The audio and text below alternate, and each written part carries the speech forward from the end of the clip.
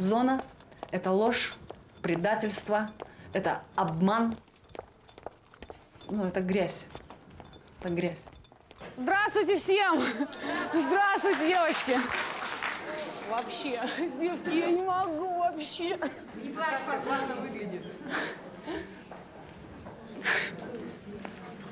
Ну что, здравствуйте, наверное, поговорим потом. Я сейчас успокоюсь немножко, да, а то у меня такое состояние вообще убойное. Ну, у меня все нормально, девчонки, вообще у меня все как надо. Свобода это супер. Что еще сейчас сказать?